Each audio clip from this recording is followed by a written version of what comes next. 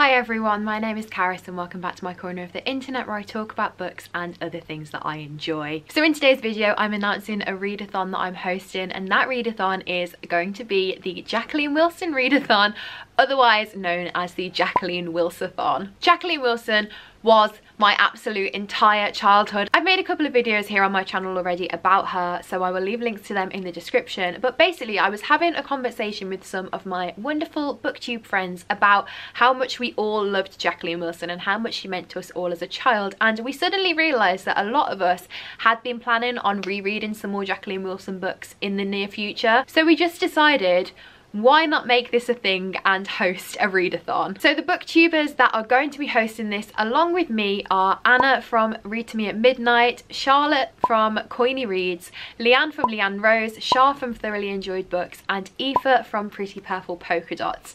And we're all just so buzzing for this, honestly. Before I get any further with the dates and the prompts for this readathon, I just wanted to uh, point out that I'm wearing my headband that has my name on it. Please tell me that other people had these when they were in primary school. If I'm ever going to wear this again, now is the time. So moving on to the details of the actual readathon, when we were deciding the date for when the first round would take place, we sort of decided that we wanted it to have the vibe and the nostalgic feel of February half term. So it's going to be taking place from Saturday the 13th through to Saturday the 20th of February. We have created a bingo board with nine prompts, some bookish and some other, but if you don't want to do the prompts or if you just want to do a few of them, that's completely fine. Literally reading one Jacqueline Wilson book is enough to say that you've completed this readathon but we just thought it would be really fun to have some prompts. So Charr made us this bingo board that I'm going to put on screen now and I'm going to talk through them all.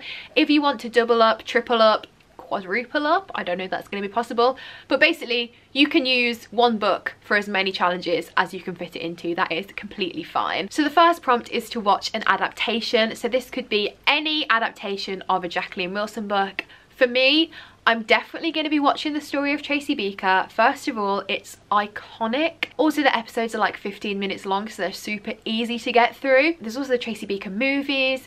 There's a film for Dustbin Baby. There's a Hetty Feather TV series on the BBC at the moment. Basically, there's loads of different adaptations, so any one of them that you want to watch, you don't have to have read that book during the readathon that will complete the first prompt. The second prompt is to create a doodle inspired by the book and you can interpret this in any way that you want. I know Aoife has said that she's going to be doing some colouring in from a colouring book that she already has.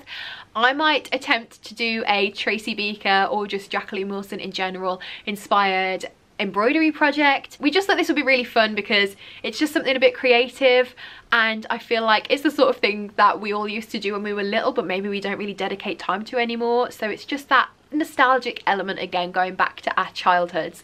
And if you do something for this prompt then please feel free to share it. We're going to be using the hashtag wilsathon on twitter so feel free to share anything there. The third prompt is a book for older readers so any one of Jacqueline's books for older readers, Love Lessons, Kiss, The Girl series, anything you want. The next prompt is to eat a snack from your childhood, again with the nostalgic vibes. The next is to reread your favourite Jacqueline Wilson book. Obviously if you didn't read Jacqueline Wilson when you were younger then pick a random one for this or maybe one that someone else has said is their favourite.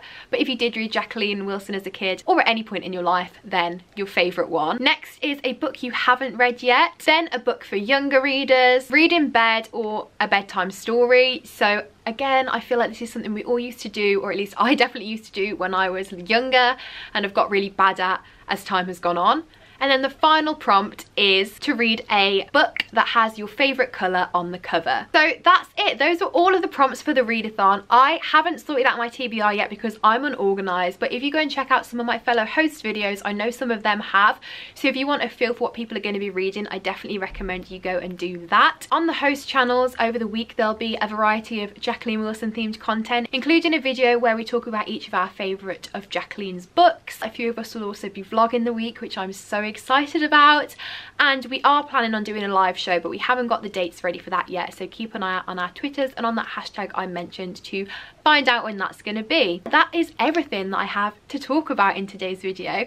I'm so excited. As I mentioned, this is round one, so we have ideas and we have scope for future rounds, depending on how well this one goes down, I guess.